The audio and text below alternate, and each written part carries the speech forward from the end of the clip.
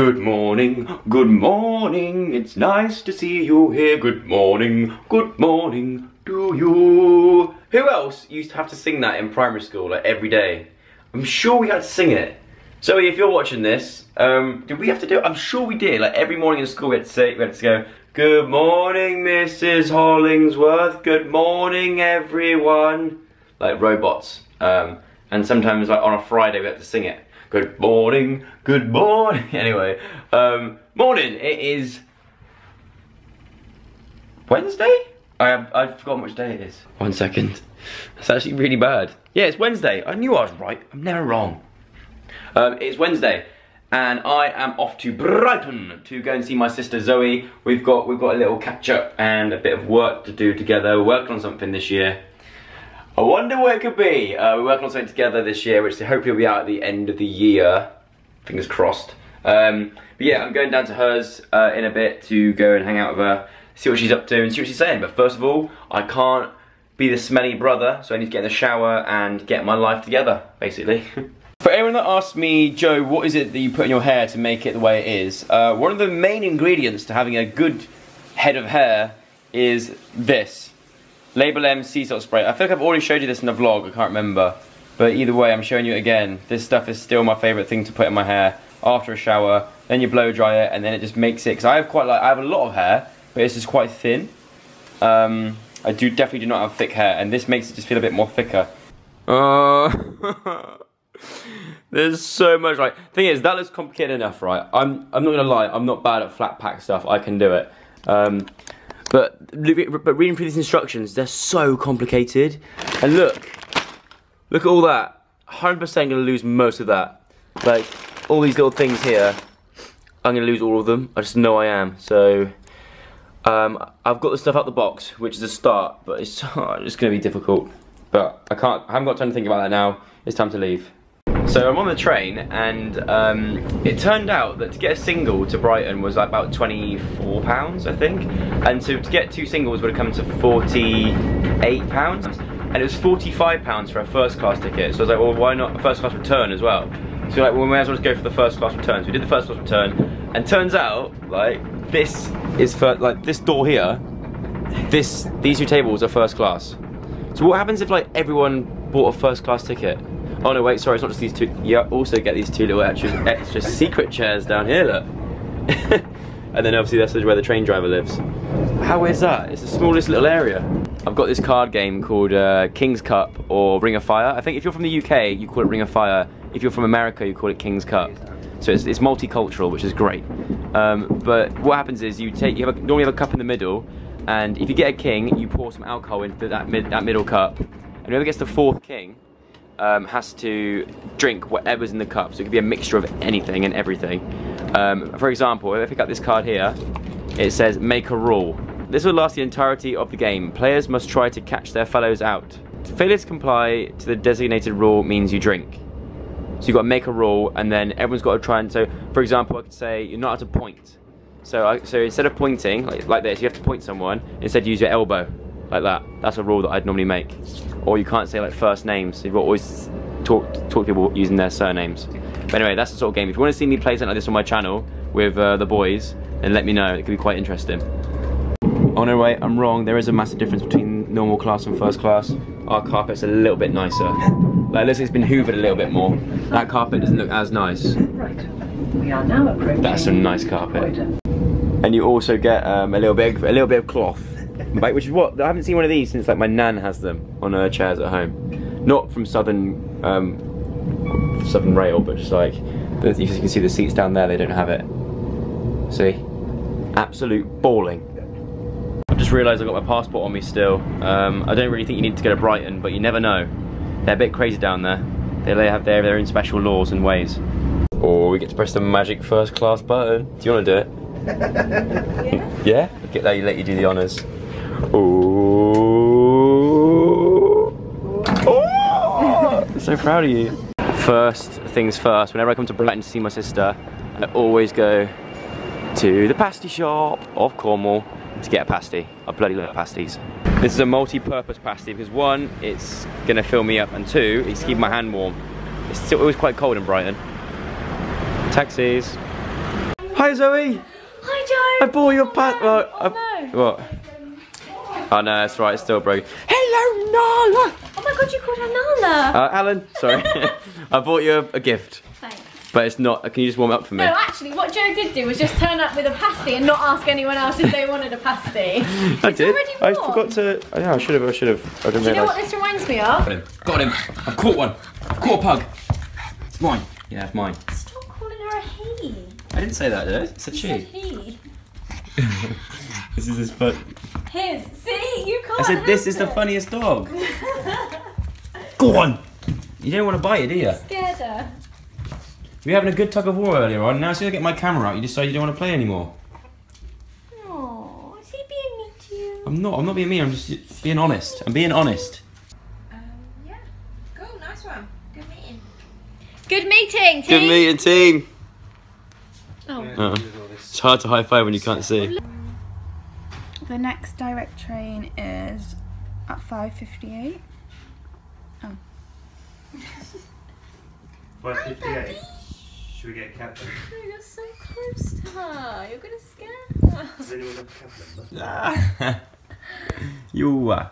So it's been uh, a very very quick trip, but yeah, I I've haven't got really caught up with you at all. no. We've come, I've come here all the way for one meeting, and now I've got to go again. I'm going back to London. The reason I've got to go back is because my the other part of my sofa's coming tomorrow morning. They didn't deliver all my sofa. They just delivered like half of it. It's like a teaser. Like here's half. The other half's coming next week. Cheers. Can you come and stay with me soon, please? Yes, and I think I will. Caspar Like wants proper- to come and stay as well. Oh god. uh, proper. Yeah. Okay. I will do. I will do. But anyway, see you later. See you, see you later. All the best. Nice to Bye. see you. All the best. Bye, Alan. No. Okay. Maybe. Don't Yeah. No. Maybe next time. get all this secret He can't. stuff He can't show all this stuff. Get out. Blurs. Blurs. I've heard of Mind the Gap, but oh my word. Fall down there, you've lost a leg.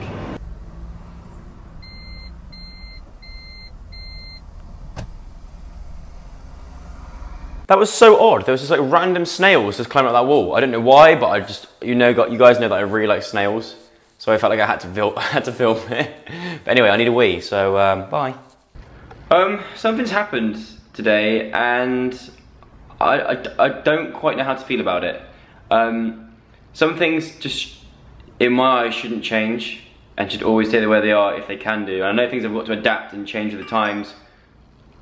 I don't know how I feel about this change. Something's changed today, and it's it's really sort of affected me in a weird way. I guess it's kind of like part of what I do, but I just want I just kind of want I just want your opinion. What what do you think of this? Oh. Hello.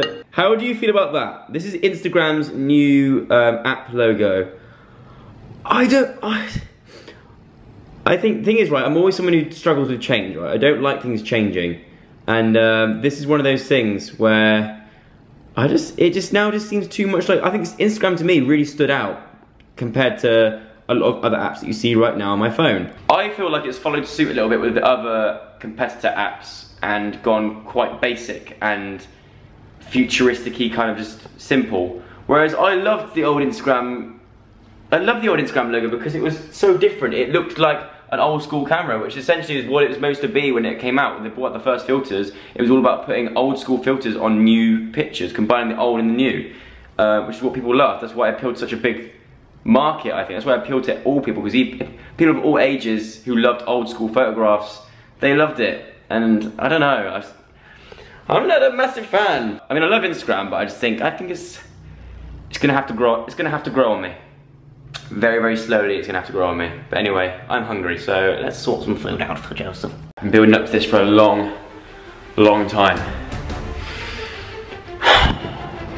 It's finally time to, to conquer my fears, to face my fears, and try and get this done. It's just you and me, bedside cabinet, and the aircon remote and the hairdryer. But no, actually not you, aircon remote, just the hairdryer. I don't think I probably need that, but anyway, let's do this. Okay, first things first, I've separated everything out into its own individual pile. It makes things 10 times easier to know that everything's in its own little indiv individual pile. The only thing is, like, it's like, you need 30 centimeter screw, 30 millimeter screws, and 15 millimeter screws, and doll screw, and all these different different types of screws. Screw this, um, sorry about the pun, but screw this, this is complicated. But anyway, I think I made it a little bit simpler by doing it like this. Um, so now let's go to our very, very easy to use hand guide. See how much to know which plank of wood's which plank of wood? That's the hard bit. Because they've got numbers on them, but in real life they don't have numbers on, do they? Or do they? Do you have a number on you? No. Why do they do that? How do I know what number, how am I supposed to guess what that is? Okay, actually, that's, that's obviously the top bit, isn't it? Because it's got, it's where, uh, I'm confused. This is going to sound proper lame, but already I'm enjoying this so much. I could have been really lazy, like, oh, do you know what? I CBA, I'll either get my dad to do it or pay someone to come and do it. Um, which, you know, I'm sure a lot of people would rather get someone to pay to come and do it, but I actually find this really therapeutic. I prefer this to cooking. Um, these, by the way, are called Camlocks, which are my new favourite thing. What they do is you put them in the wood, and then at some point I'm going to put a screwdriver in there and twist it, and it's going to actually bring the wood, it tightens the wood together and makes it just neat. I think it's such a great invention. I'm, I'm being weird, but I love Camlocks. It's my new favourite thing, Camlocks. Oh, I've had a little mare. I'm doing so well, right? I've got the, the metal bits on and everything, but I've got, uh, there's something that's really bugging me. I don't know if it's like, it should be annoying me or not, but it's bugging me a lot. So on here, it says the screw eye goes into that little hole there, which is a circular hole, and there's an oblong hole before it, right? Before it, to the right of it. Okay, so I'm looking on here. The circular hole is before the oblong hole on here. So do I put the screw? It's telling me to put it in the top, the, the highest bit, which is this bit here. But the screw fits this hole a lot better and I'm worried about, everyone knows that you shouldn't drill screws in too close to the edge of wood because it will make it split. So do I put, do I go with my instinct and put it in here and think the, the, the guide is wrong, or do I put it in here and um, just hope for the best, because that's what it says in the book. But in the book, it's a circle at the top, but in real life, it's not. So what do I do? It's like, it's telling, it's sending me such mixed signals. I'm gonna have to FaceTime my dad. Oh, look at this! It's all starting to come together, and I'm listening to vintage, my vintage old school playlist on Spotify, um, which at the moment is Tattoo. Remember this t.A.T.u.? All the things she said. What a classic. Um, I'll leave a link in the description below to my Spotify profile where you can find this playlist because it's absolutely amazing. If you were born in the 90s, you will love this playlist. Okay, now the scary bit. I've got a hammer. I've got to use nails and a hammer. This is where I break my freaking fingers. Right, Mr. Hammer, it's me and you against this. We've got this. Be careful.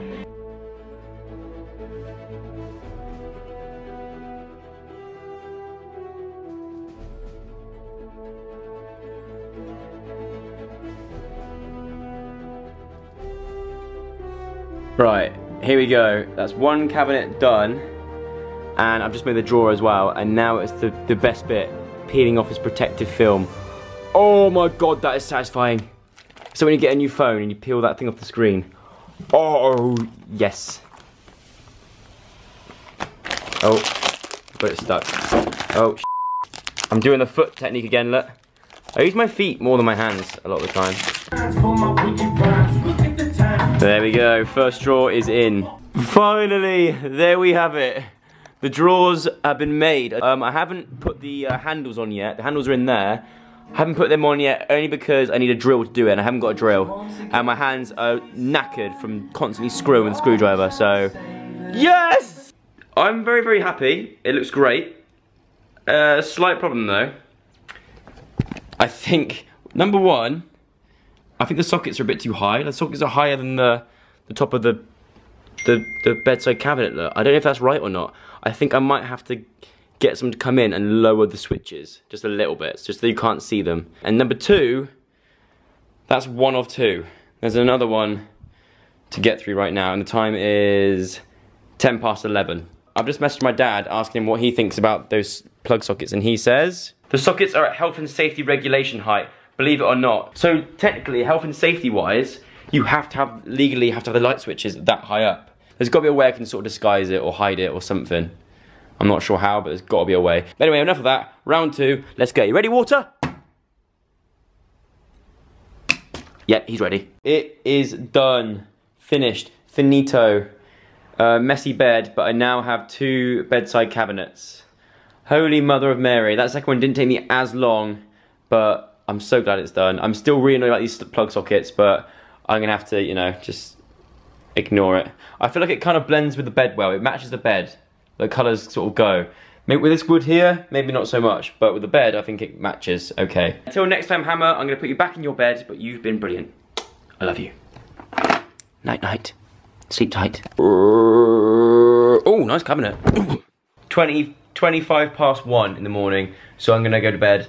Um, but yeah, it was really nice to see Zoe today, even though it was for um, only a short while and we were talking about like secret stuff. Went down to go and see my sister in Brighton because we are working on something together. We've been, we've been, we've been trying to work on stuff um, since like we've both kind of started YouTube, I guess, but this the stuff we're working on now is finally starting to properly come together. And the, the secret projects that we were working on last year um, didn't quite work out. And then looking back on it, I'm kind of glad they didn't work out because compared to what we're working on now, uh, this is like next level stuff compared to what we were going to release last year, if that makes sense. Both Zoe and I are very, very excited because we don't, we don't actually work with each other that often. Like, we record videos, we film videos together like every now and then, but we've never actually properly like worked on something together. So this is very, very exciting for me, um, as you can tell, working with Zoella. She's, she's huge. It's both something that we've been meaning to sort of work on for a long time, and so we are both very, very excited to share it with you in, I can't you when, but hopefully it's this year. It will be this year. I'm gonna say that it will be this year, definitely this year. And sooner this year than you think, hopefully. Um, I hope you're excited for it too. Leave in the comments below what you think it's gonna be. Um, I think you'll be quite surprised. It might not be the most obvious thing you're thinking of. That's all I'm gonna say. Or it might be. It might not be. That's what I'm trying to tell you. I think I'm confusing myself. Anyway, I'm gonna end the vlog here. I hope you enjoyed it. If you did, give it a big thumbs up. And also, if you haven't already, click that subscribe button. Um, it's completely free and it lets you know when I upload new videos all the time. So it's the easier way. And then you can go notification squad, um, which is all the rage nowadays on, on YouTube. So I'm not a daily vlogger. I'm, I'm actually not. Like, don't expect this much for much longer. See ya. Bye.